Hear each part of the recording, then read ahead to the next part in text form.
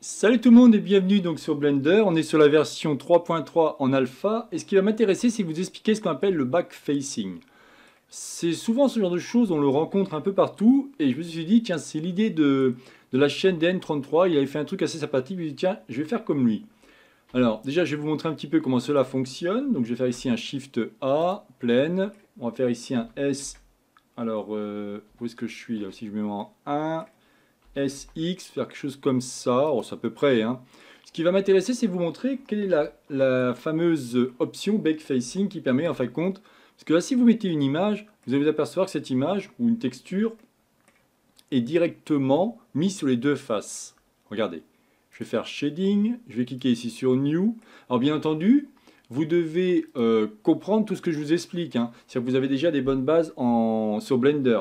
Si par contre vous êtes complètement perdu et que vous souhaitez apprendre euh, la formation Blender, je ne peux que vous conseiller la première formation que je propose qui est l'initiation gratuite sur Blender. Vous retrouvez celle-ci sur frtuto.com. Vous aurez de façon le lien au niveau de la description. Revenons maintenant à la vidéo. Donc là, ce que je vais faire, c'est que je vais revenir au niveau du shading. Ici, je vais faire un CTRL-T sous réserve que vous ayez le Node Wrangler d'installer.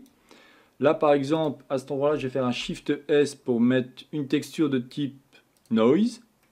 Ça, c'est pas mal. Ici, je vais faire un copier-coller de tout ça. Shift D. Je me mets ici. Alors, je vais agrandir un peu, puis c'est bien voir ce que je fais. Là, il va me falloir un mix shader. Voilà, je le mets ici. Alors déjà, vous pouvez voir que si on regarde à cet endroit-là, là, je vais faire barre d'espace, contrôle, pour que ce soit plein écran, on a bien des deux côtés. Très bien. Bon, bah oui, mais moi, c'est pas ce que je voudrais. Je voudrais avoir, de compte, une face, une image, par exemple, et l'autre face, une autre image.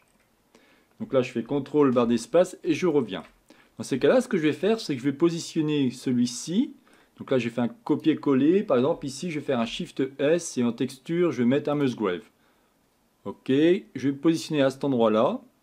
Donc le premier, le deuxième, et ici, je vais faire au niveau de la surface. Vous allez voir que maintenant, je vais avoir un mélange des deux. Je vais avoir à la fois le Musgrave et à la fois la gestion de la couleur. Vous voyez, ça c'est mon Musgrave et ça c'est ma couleur. En fonction évidemment que cela que l'on soit à 50%. Ça peut donner un effet très intéressant par rapport à ça. Et après, vous auriez pu faire différents mélanges et ainsi de suite. Dans le cas du backfacing, si je viens ici, vous allez retrouver au niveau de l'onglet Géométrie. Donc là, je vais faire Shift A, et on va chercher géométrie. Vous voyez, il est ici, back facing. Quand on prend celui-ci et qu'on le met au niveau de, du facteur, vous allez voir que d'un seul coup, celui-ci est assez intelligent pour comprendre que mes deux textures vont bien être positionnées différemment. C'est-à-dire qu'on a bien ici, par exemple, le Musgrave, et derrière, je vais bien me retrouver avec la carte de couleur. Eh bien, c'est exactement comme ça que je vais vous expliquer par rapport au billet. Donc là, je ne vais pas refaire le même travail, mais je voulais au moins vous montrer ça pour que vous compreniez. Après, à vous de faire ce que vous voulez par rapport à ça, mais ce qui est sympathique, c'est qu'on peut, dans le cas de, je vous dis, la chaîne DN33 où il expliquait, je ne sais plus, c'était un billet de 20 euros ou un truc comme ça, je me suis dit, allez, soyons fous, moi je vais prendre un billet de 500 euros. Je vous montre ça de suite. Voilà, donc vous voyez, ici, on a donc un billet de 500 euros. Hein, sympa, hein, quand même. Hein. si on regarde un petit peu au niveau de l'UV Editing, bon bah j'ai fait quelque chose comme ça, un extraordinaire. Par rapport au shading, si on regarde celui-ci, ben, c'est exactement pareil, sauf qu'au lieu d'avoir deux textures, ben là j'ai mis des images. Vous voyez J'ai mon image ici, donc si je viens à cet endroit-là, je vais voir à cet endroit-là, je vais avoir l'image euh, face avant et face arrière. Après j'ai découpé ça sur GIMP pour pouvoir faire ce genre de choses. Et tant qu'à faire, je me suis dit, tiens, on va aller encore un peu plus loin. Donc ça, c'est mon image, vous avez compris, pas de souci.